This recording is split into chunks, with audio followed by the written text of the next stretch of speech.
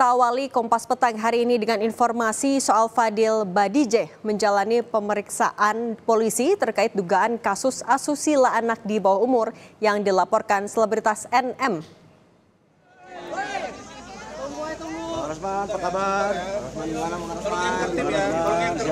Ya, ya. Ya, ya.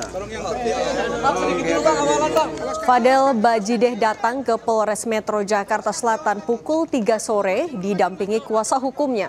Fadel diperiksa polisi sebagai saksi atas kasus asusila anak di bawah umur yang dilaporkan oleh ibu korban, selebritas NM. Ini adalah panggilan kedua dari polisi untuk Fadel karena dalam pemanggilan pertama pada Jumat pekan lalu Fadel tidak hadir karena sakit.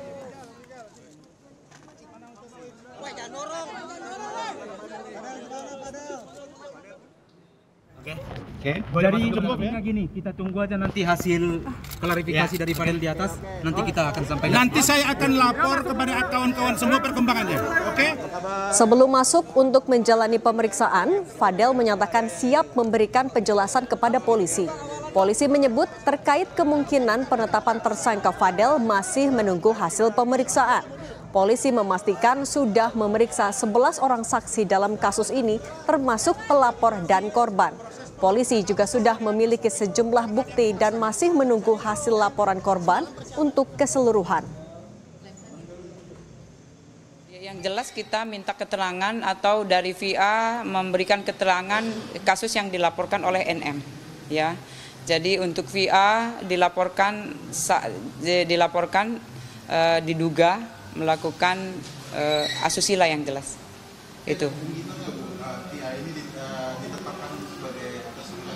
Kita tunggu saja ya dari hasil uh, uh, pemeriksaan nanti kemudian juga uh, kesaksian atau keterangan yang dari VA yang itu kita harapkan atau kita butuhkan untuk uh, kasus yang dilaporkan oleh NM terhadap putrinya LA.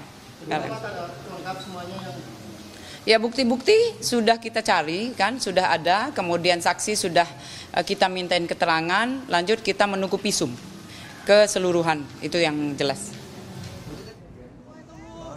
Kriminolog Universitas Indonesia Hanifah Hasna menyebut kasus asusila dengan korban anak selebritas NM bisa masuk ranah pidana karena korban masih di bawah umur.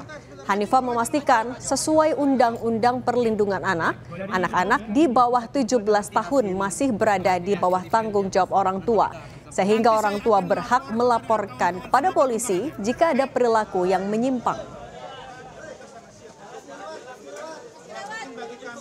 Usia 17 tahun itu masih tergolong anak karena sesuai dengan Undang-Undang Perlindungan Anak 0 sampai 18 tahun itu masih uh, masuk dalam kategori anak.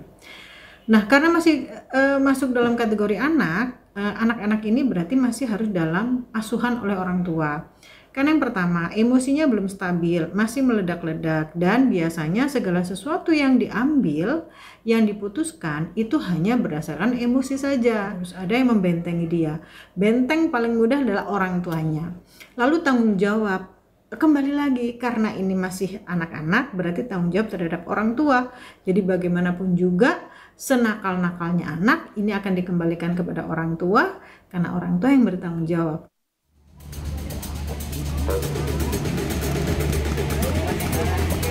Selebritas NM melaporkan mantan kekasih anaknya Fadel Badijeh ke Polres Metro Jakarta Selatan. Fadel dilaporkan terkait dugaan tindak asusila anak di bawah umur. Kita lapis-lapis untuk melindungi seorang anak yang berumur 16 tahun. Ingat pada saat kejadian umurnya baru 16 tahun, sekarang mau 17 tahun. Itu adalah anak yang harus mendapatkan perlindungan dari orang tuanya. Jadi ini adalah tindakan seorang orang tua untuk melindungi anak. Polisi menyebut selebritas NM membawa sejumlah barang bukti, salah satunya chat pribadi korban dan Fadel. Tak hanya memeriksa pelapor, polisi juga memeriksa sejumlah teman korban untuk proses penyelidikan. Bukti yang dibawa untuk kemudian chat-chatnya yang uh, dari korban de, ke, dengan yang diduga pelaku, ya kemudian juga dari chat-chat dari teman-teman yang LM. Untuk empat saksinya ini masih di bawah umur semua atau sudah? Oh enggak, yang yang temennya sudah di sudah dewasa.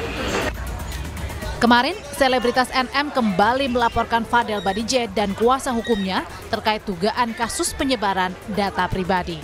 Polisi membenarkan sudah menerima laporan kasus penyebaran data pribadi anak dari selebritas NM yang masih di bawah umur dan menjadwalkan untuk memeriksa pelapor, korban, hingga terlapor untuk proses penyelidikan. Menunjukkan foto USG milik anak korban atau anak pelapor.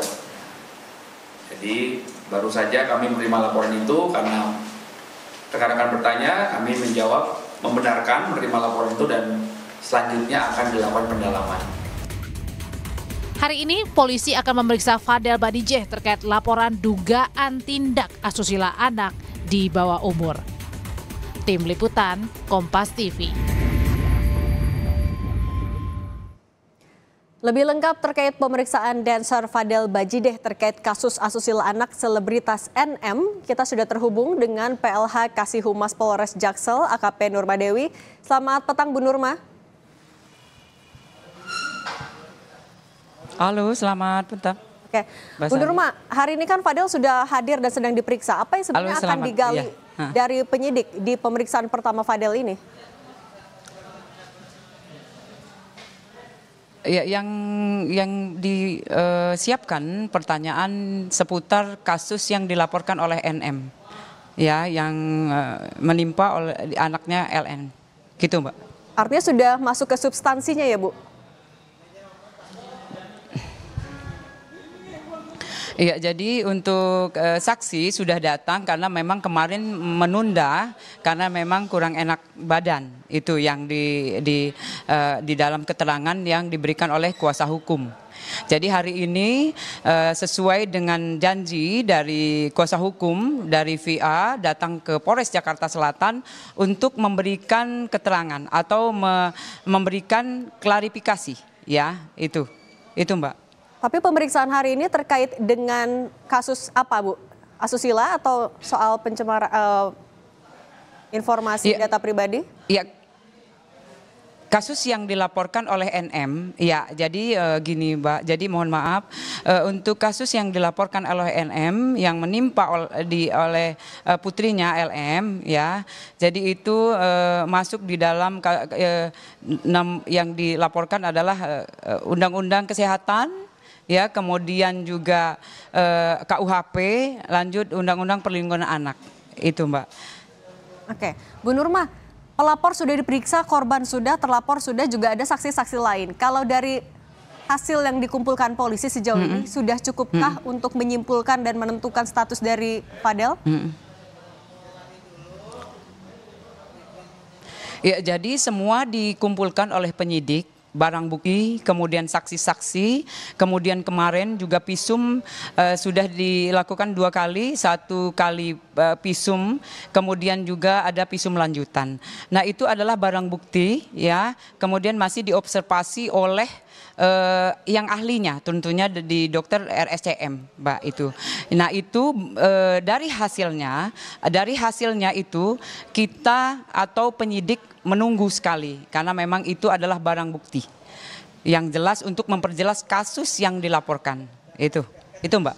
Oke, baik. Bu Nurma, terima kasih sudah berbagi untuk Kompas Petang. Sehat selalu, Bu Nurma. Mm -mm. Oke. Okay.